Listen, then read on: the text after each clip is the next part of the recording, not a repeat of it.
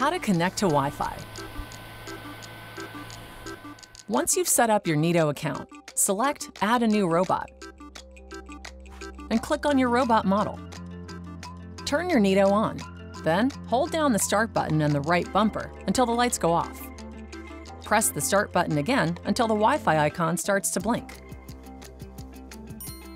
For iOS users only, go to your phone Wi-Fi settings and connect to the network that begins with Neato.